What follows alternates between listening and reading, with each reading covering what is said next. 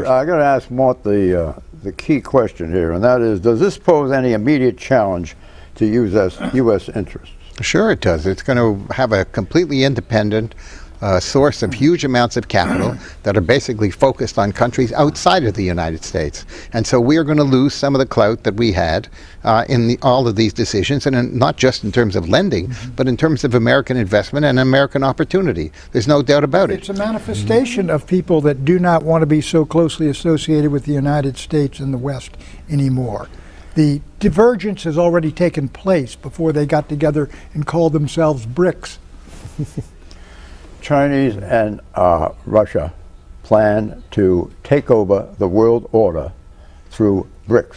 Uh, They my will, belief no, no, they will do anything. Russia- my belief is will- that Russia has sought repeatedly to join and difficult to join the West, and we have virtually driven them back into the arms of China. What Nixon broke up, this recent presidents and administrations have put back together. How could BRICS have been averted? Well, uh, it could have been a, a, a, a, on one level, it can't can't have been uh, uh, avoided because you have one institution making the decisions. That institution is dominated by the United States and by England, the traditional sort of Western capitalist countries.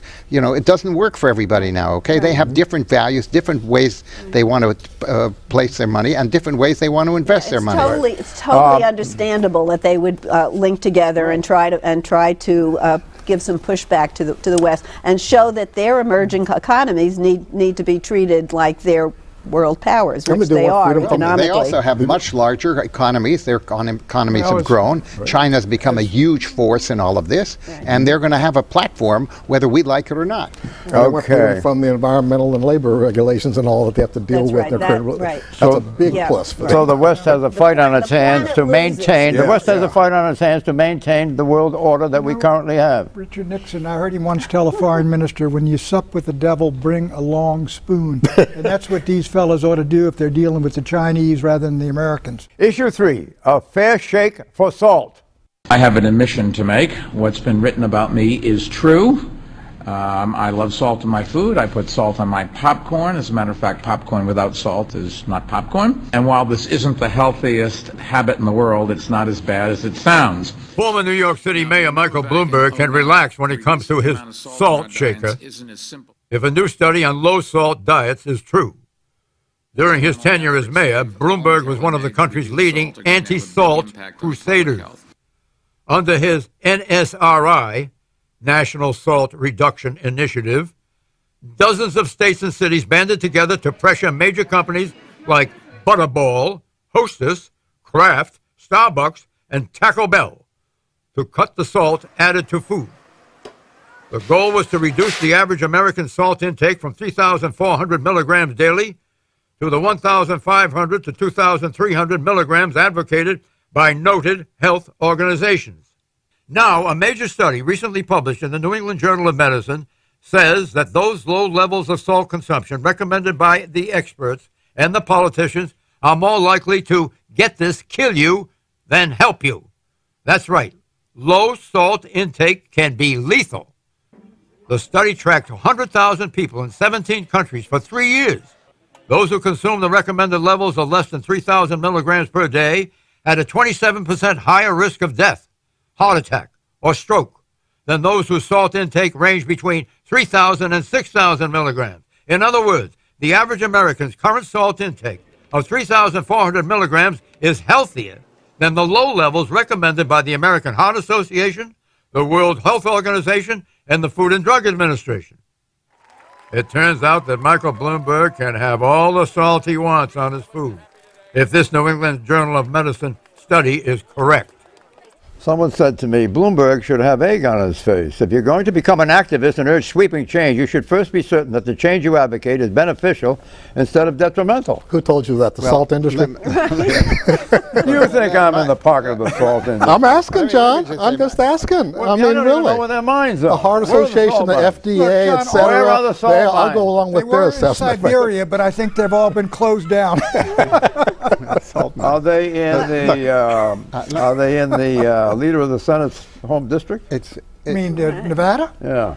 Not that I know of. There's there's uranium and stuff out there. I think. You, know. Yeah, you don't doubt wanna we're put uranium used on your uranium- soup, I'll tell you that. No, I Put was- uranium on your Not food. good either. No, I, I, my, my father happened to have uh, high blood pressure and heart conditions and everything. We grew up in a family without salt. Okay, I mean literally. I mean, they, everybody said you had to cut it out. Now, it doesn't mean that I have a good taste of food, but so far so good is all I can say. And none of my uh, You know- But you siblings throw out- have had any difficulty, nor nor my sister. You can throw out every salt shaker that you have, and you absorb enough salt in processed food. They Right. put salt in everything. And I must say, Pat's been invoking uh, Ronald Reagan and Richard Nixon. when Reagan was Yeah. president, he once did an interview where he talked about the changes he'd made in his diet, and he said he'd given up salt. He Yeah. said, except for eggs. He said, only a raccoon can eat an egg without salt. Every time I eat Lawrence. eggs, put salt on. Okay, I hold on, for please. President Speaking of Reagan. Nixon, Hold John. on, hold on. Speaking of Nixon, let me tell you a little story. Very late in life, he was told by his doctor that he had to give up all drinking, and he called Bebe Rebozo, his friend. And Bebe said, "Sir, if I were you, I'd get a second opinion." all these things cancel each other out. Right, right. Uh, Exactly. where did we read if the salt loses its savor, wherewith will it be salted? It's the Bible. Shakespeare? No, Is it's that a, the Bible? it's a New Oh. Testament. Good heavens! Who said it? Ah, okay. Jesus himself. Who'd you say it to?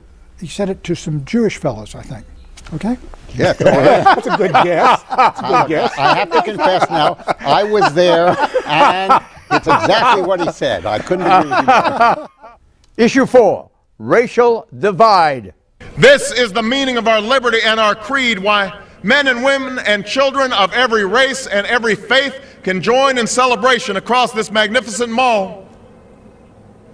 And why a man whose father less than 60 years ago might not have been served at a local restaurant can now stand before you to take a most sacred oath.